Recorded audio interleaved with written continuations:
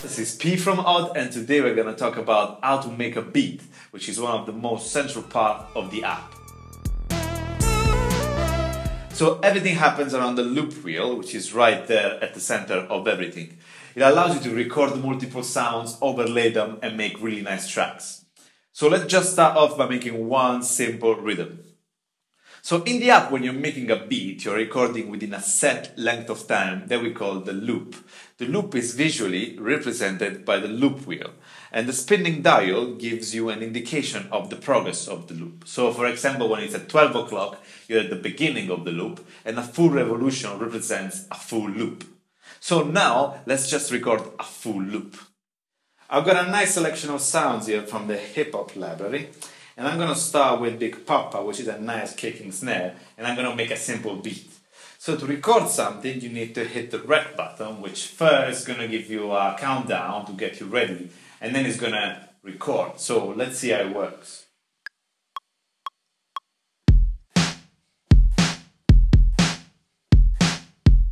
Yeah? Yeah, we got it. So, as you can hear, everything that I've recorded keeps repeating.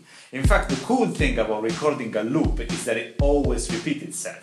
And that makes it very easy and very quick to overlay multiple sound and create a nice track. Which is exactly what we're gonna do next. I'm gonna pick other sound and I'm gonna overlay them. So, to record another sound, you can either press directly the rec button, which is gonna count you in, or you can play your track, listen to it, and then turn recording on. So I'm gonna add some hi-hats now.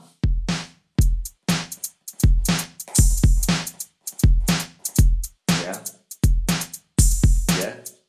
And now I wanna add some bass lines to add a bit of flavor.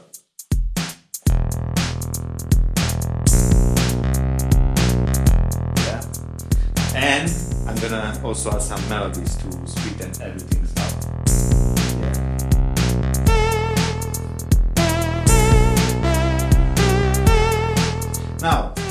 once you have a track going, one cool thing you can do is that you can turn rec off and you can jam on top of it. So I've got this melodic instrument now, and I'm gonna jam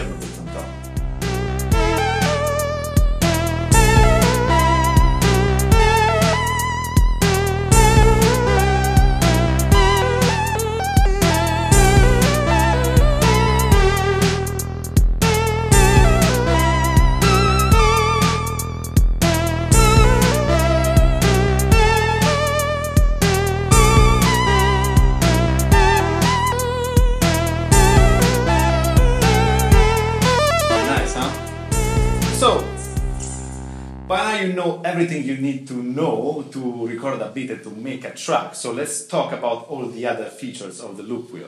As you probably have understood by now, you can play back your track by pressing the play button. Um, the wheel is green to indicate that you've recorded something in your loop and it turns red when it's recorded. Then you've got settings where you can turn on and off your click track, you can change the length of your loop and you can speed it up or uh, slow down your beat with the tempo.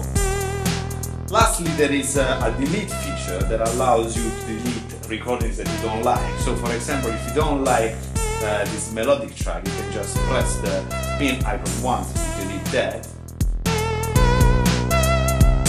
or if you don't like the whole record, you can just press and hold and it's gonna delete everything. So that's all I have to say for now. I hope you enjoyed it. I hope you I hope it's useful for you. Um, in the next video we're gonna talk about backtrack and the videos to come we're gonna talk about shuffle, we're gonna talk about effects, and we're also gonna talk about how to share your beat on social media and with your friends, which is super super fun. So thanks a lot for watching. I hope you enjoy it. See you soon.